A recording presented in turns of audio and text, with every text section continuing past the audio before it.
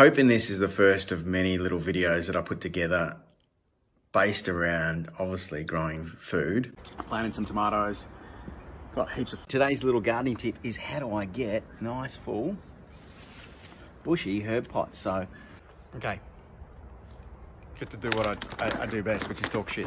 Um, no, no, seriously, I'm talking about fertilizer. Uh, Beck was basically working from our bedroom and I'd come home from work one day and I'm going, this is crazy. What are you doing? Let's see if we can find a house to rent. Let's choose somewhere where we haven't been before, somewhere where there's weather's nice and potentially change up our lifestyle.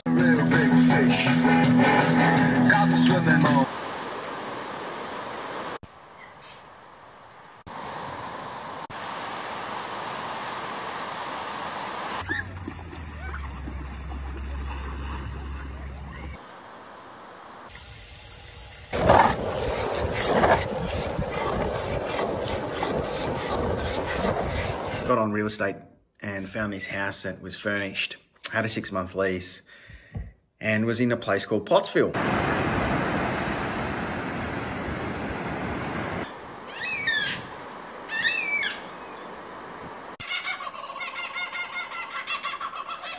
Get to see the sun rise every day, hear the birds, and it's amazing.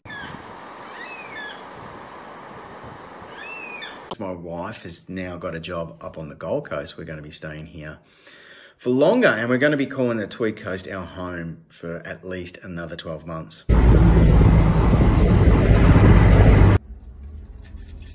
Next 12 months. Um, picked up the keys to the new place. My identity has so much to do with the space in terms of the garden.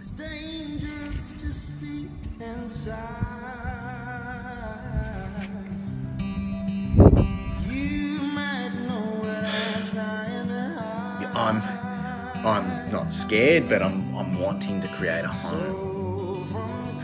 So what do you think? You like it? Too busy eating watermelon. And for me, it's all about that space. So here it is. What will be new space? This is mad, mad, mad passion fruit vine that's sort of come up these suckers here. It's crazy, but we'll sort that out. We've got a lemon tree. I'm looking at it as a challenge and I wanted to showcase, I wanted to document basically the whole um, journey of creating a house that you rent and how you can make it into a more sustainable food producing garden. So that's what I'm doing and I'm I'm a bit nervous about it.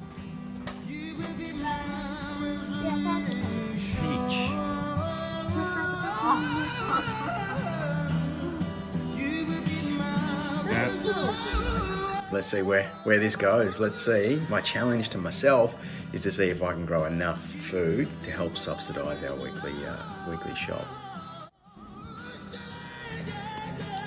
Isn't the compost pile just there? The ground compost pile.